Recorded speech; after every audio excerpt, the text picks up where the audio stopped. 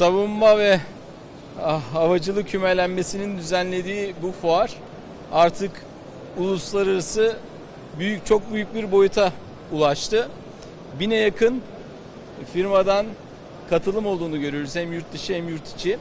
Ee, ülkelerden üst düzey katılım oldu. Ee, takip ettiğim kadarıyla 11 ülkenin e, savunma bakanı fuarı ziyaret etti. 57 ülke buraya katıldı. Artık Türk ülkemiz tüm dünyada savunma sanayinde e, bu son 20 senede gerçekleştirdiği dönüşümle tüm dünyada adından hem eserleriyle hem kurumlarıyla sözle ettirir bir hale geldi. Bugün e, bugün de son günü. E, tabii halka açık ve halkın da büyük bir ilgisi olduğunu görüyoruz. E, özellikle yüksek teknolojideki serüvenimizde ülke, ülkemizin tam bağımsızlık serüveninde biliyorsunuz savunma sanayi en önemli lokomotif. Bütün dünyada da böyle olmuş. Hayatımıza giren bütün büyük teknolojilerin hepsi öncelikle savunma sanayinden e, başlamış ve sonrasında sivil alana yayılmasıyla birlikte çok daha büyük bir hale gelmiş. E, inşallah ülkemiz tüm diğer sivil alanlarda da e, bu başarıyı gösterecek. Bizim bütün hedef ve gayemiz bu.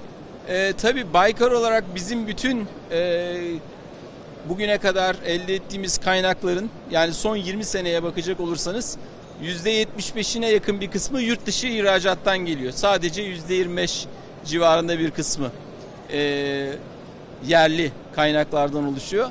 %75'ine yakın bir kısmı yurt dışı ihracattan geliyor. Elbette bu bizim için yüksek teknolojiyi geliştirirken ki bunların bütün yeni yaptığımız platformların hepsini biz öz kaynaklarımızla yapıyoruz.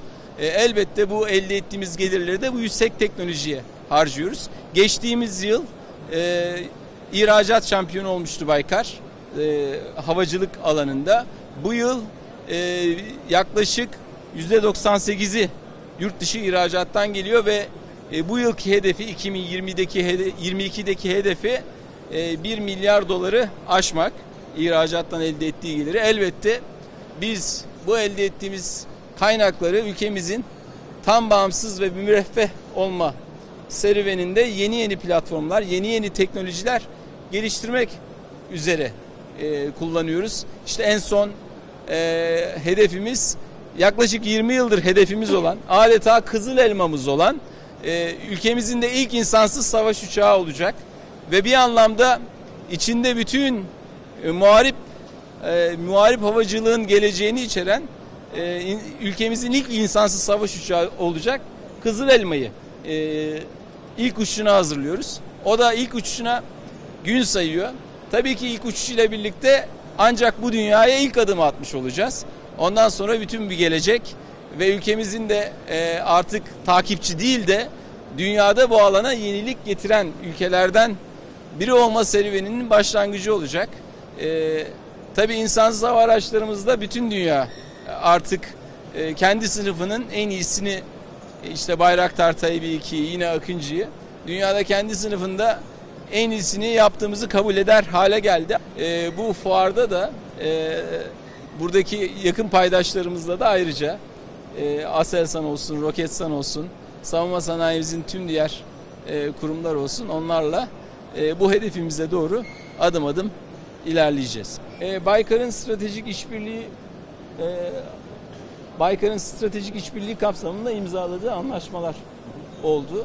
E, tabii fuarın e, özellikle ülkemiz e, savunma sanayisinin geldiği nokta açısından baktığınızda böylesine büyük bir rağbet görmesi, uluslararası rağbet görmesi e, hakikaten ülkemiz adına e, gurur verici ve elbette e, ülkemizin e, adeta mihenk taşı haline geldi ve şu e, yaşadığımız dönemde dünyanın için, içinden geçtiği krizleri de değerlendirecek olursak ülkemizin böylesine e, hem e, jeopolitik anlamda hem stratejik anlamda böylesine önem kazanması e, bizleri de ayrıca e, milletimizin bir ferdi olarak gururlandırıyor. İnşallah çok daha büyük başarıları dediğim gibi sadece savunma sanayinde değil tüm diğer sivil alanlarda da genç kardeşlerimiz, e, genç girişimlerimiz, e, teknoloji firmalarımız, kurumlarımız başaracak.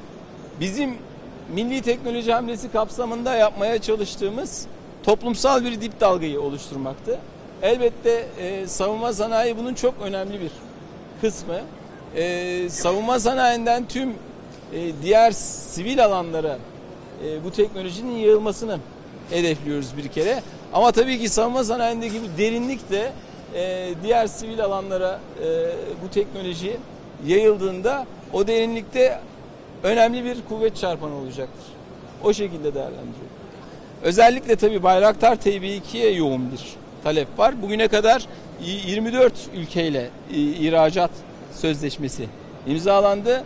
Akıncı da e, bugüne kadar 5 ülkeyle imzalandı ama tabii Akıncı daha henüz yeni e, göreve e, yani biz ilk uçuşunu 2019'da gerçekleştir, gerçekleştirmiştik. E, göreve hazır hale gelmesi 2021'i buldu.